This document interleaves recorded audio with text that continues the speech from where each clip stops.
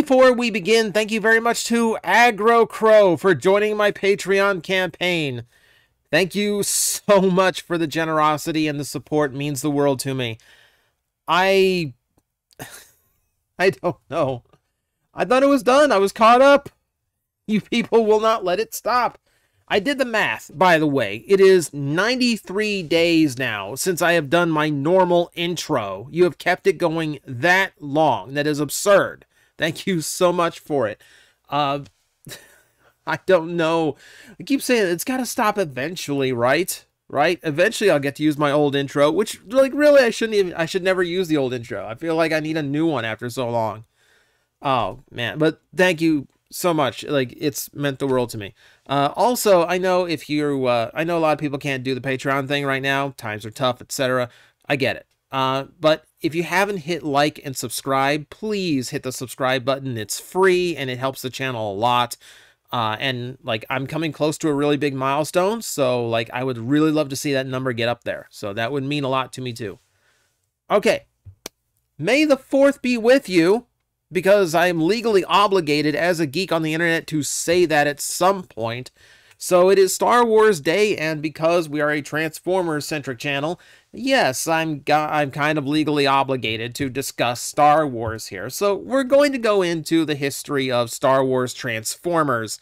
Now, we're not we're, we're going to touch a little bit on what else Star Wars has done within the Transformers uh, realm, but it is thin, admittedly a lot of it is in referential stuff in G1. Now, in the original cartoon, you could find the original Star Wars sound effects all over the place. Uh, it's just a stock sound library that uh, Sunbow happened to use a few sound effects from from time to time.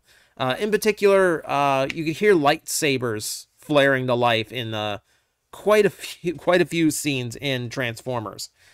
Now, that's little stuff. What you see on screen is from Transformers Victory, where, yes, it's very obvious R2-D2 and C-3PO are walking in the foreground. Uh, you'll also find references in Victory to Harrison Ford uh, as Indiana Jones, and, of course, uh, Carrie Fisher as Prin in uh, Princess Leia Hairbuns. Uh, so you, you get a little bit of that in there, too. It's weird that it's the Japanese series that does the homage, but I guess legally that's a lot easier than uh, than the American cartoon would have been. But it's been a very loose connection. There's a very loose connection there with the original Transformers and Star Wars. Um, the strengthening becomes when we get into a toy line called Attacktix, which was a battle figure game that had, you know, that came out with a few different franchises, but like the big two that had Attacktix figures were Transformers and Star Wars. Actually, if I'm right about Attacktix, it might be the only two to- it might be the only two franchises that were used. Point being, the two were compatible with each other, and as you see here, did have artwork that incentivized and encouraged you to mix and match your Transformers and your Star Wars characters. So that's kind of where we start off, but um, we, we we know the real meat of this, right? So what you're looking at, obviously, since it's Cybertron, this is around this is around 2004, 2005. But in 2005, we got uh, what was essentially the first time that we got like serious crossover stuff with Transformers, and that was the Star Wars Transformers line. This was a really weird and exciting line uh, if you were a fan back then because it was so just out of nowhere that Transformers was suddenly doing vehicles from a different franchise and doing fantasy sci-fi vehicles no less of popular characters. It was a really big departure from what Transformers had been doing for, you know, at, at that point 20 years. It was cool to see, you know, and, and it made sense. You know, Hasbro has the has had the master license for Star Wars almost forever. Like it was a Kenner thing and then when Hasbro bought Kenner, they integrated it, so they really have never lost it since then. It's pretty incredible. So the idea of two of their longest running brands having cross-compatible toy line, yeah, that is actually pretty freaking cool. So what you see here is one of the first Wave 1 figures, absolutely obvious, Darth Vader, as, as the TIE Advance. That's, you know, what you would expect. Now, Wave 1 had some issues. Uh, Wave 1 in particular, the plastic quality was pretty low. They're known to be more fragile and uh, prone to yellowing a lot more than future waves. So if you go back and want to get any of these for the sake of nostalgia, stick to the repaints of Wave 1. Uh, with one exception, because I'm not even sure they repainted repainted it. We'll get there. But if you are not aware of these, if you've not seen these before, um, to my knowledge, uh, uh, to my knowledge, Takara was not involved in the production of these. Um, this transformation, the engineering on them seems far simpler, uh, more akin to what uh, Transformers Titanium toys were. Though these are, admittedly, better built, they still feel weird as Transformers. There is something off about the engineering to them that they don't really live up to toys even of that time. So it's really just the novelty of here's a nice Star Wars vehicle and it happens to transform into Darth Vader. So we get by on that novelty. And there's tons of these. Obviously, there are tons of these. On this channel, we have discussed Luke Skywalker. In fact, we talked about two of his in the crossovers line, the X-Wing and the Snowspeeder. These are not great. Um, uh, this, these are ancient videos, by the way, in glorious 480p if you want to go back and watch them. Uh, this, yeah, my, my opinion on these really hasn't changed over the years. They're still pretty bad. They're still pretty bad, even for the time. Now, it's not to say there isn't a novelty, not to say there isn't an appeal. We'll get to that here in a bit. We have to talk about another sect of this before we discuss that particular part. But needless to say, they're not a stranger to the channel. That's largely because the earlier figures were kind of poorly received. Um, at least amongst Transformer fans, they were. Because overall, they just did too much, they did too many things incorrectly as far as like we were concerned. Number one, the toys themselves had, like the toy line itself, heavily relied on repaints and retools. This Jedi Starfighter, here's a trivia fact for TJ Omega. I was originally developing a Plastic Addict episode for the Jedi Starfighter figure. Now, the toy itself is just okay. Uh, as far as that toy line is concerned, it's okay. But the the what what got to the point of like now this toy is actually bad is just how many times they reused it. Literally any Jedi they could justify got this mold, and that included even Darth Vader. Okay, okay, so we put in one Sith. All right, fine. Um, I'm sure he used it in the comic book or something. I'm sure there's some lore where he flew one of these instead of a TIE fighter. Oh well. But yeah, um, yeah, like the toy itself is just kind of dull. It just, it just kind of is. Like I hate to, like, I hate to put it that way. Um, largely, yeah, like these early run figures did have a lot of weirdness to them. Uh, you can see with Boba Fett here too. Um, largely that does come from A, a team with less experience with the engineering process of a Transformer, but also because the gimmick to this line was that they all had a cockpit and a micro figure that you could put in the cockpit. So it actually functioned like a very small version of a Star Wars toy. And it's a neat little trick, but when you think about it, a lot of no Star Wars vehicle was ever intended to transform into a robot of any kind. There's not a lot of bulk to work with on some of these. You imagine trying to make a Y-wing fighter into a transformer? You know, and I mean like even a classic Y-wing. I know they did it for some of the the the the uh, the original ones. Some of the prequel ones, yes, they did those. But a big it meant like a big chunk of this toy's engineering had to go into a hollow cavity in the center of the toy that really couldn't do anything and it cost them a lot of bulk to make the robot out of. So I think it ultimately hampered things. Um and ultimately and there's also just yeah, there's there's a lot of places where you can see the team just really didn't know what to do with some of these things. Uh, the AT-AT is a good example. Uh, the the chicken leg snowtrooper. Uh, this is one of those that we just kind of laughed at. I think. I mean, it's cool. A transforming AT-AT is cool. It's also looks silly. Uh, and we as a Transformer fan would wonder where did that big bulk of like where did all that mass in the back of this vehicle go? Wouldn't that flip out the arms and legs a lot easier? And then all this would just be like back kibble because it really looks terrible as arms and legs. No, no, no, no, no. We're gonna use him as the legs. We're gonna use him as the legs. he's he's gonna look he's gonna look like an android from the waist down, which is weird considering he's a robot. But you get my point. You get my point. It's gonna look. We want him to look like you broke two of your toys at the waist and you glued the wrong bottom to the wrong top. That's what we want the toy to look like. Uh, my favorite was the Emperor. Aside from the fact that he had to be an Imperial shuttle because it's the only vehicle he's associated with, um, it also means that uh, he he's not in black robes, and he just has this really weird gremlin head. I don't know why. It's it's a weird, it's a really weird one. I think this point, a lot of these just kind of became laughable because they were you could tell where they were struggling to make these designs work um, there's also silliness, like you can see it here, where the lightsabers for the toys were always used as the missiles.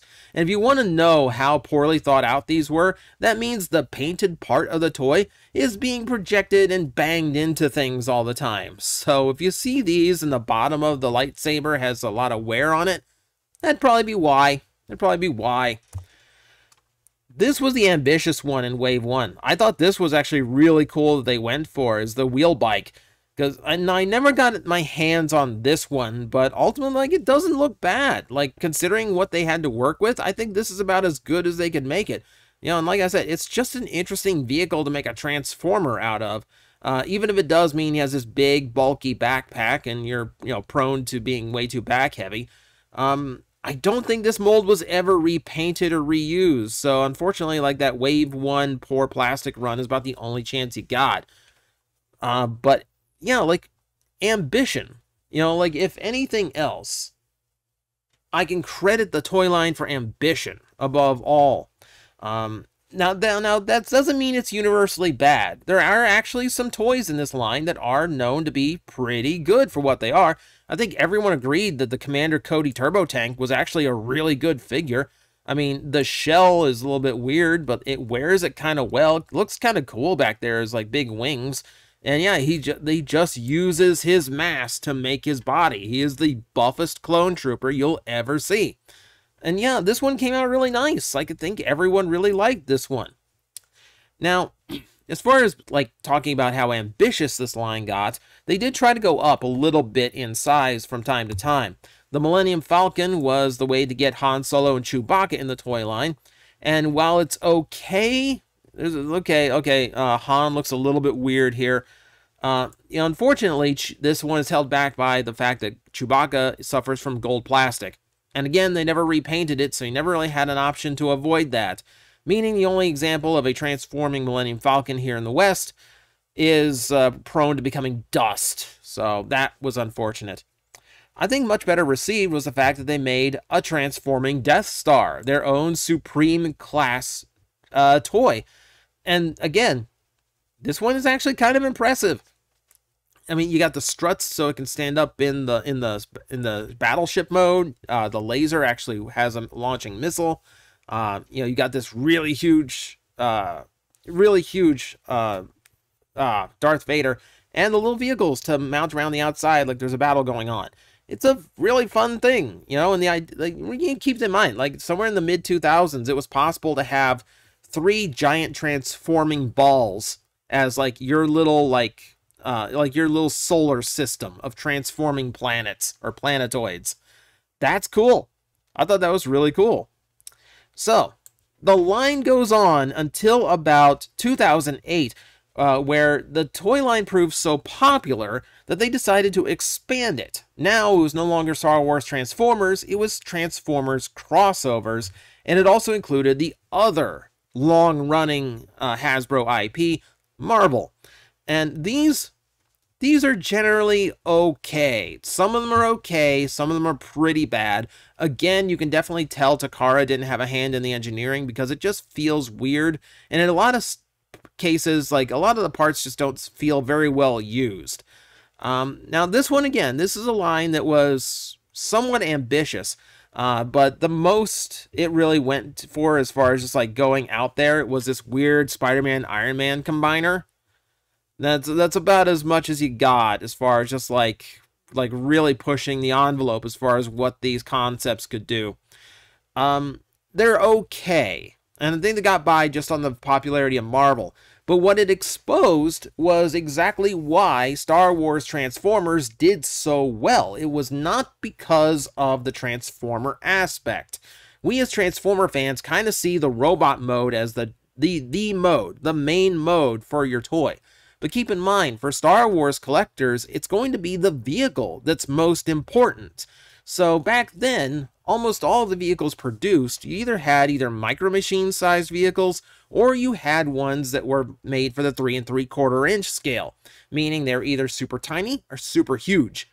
This was a great way of having normal size trans like normal size Star Wars vehicles sitting on a shelf or your favorite one just taking up a little bit of space on your desk without it like encompassing your display space.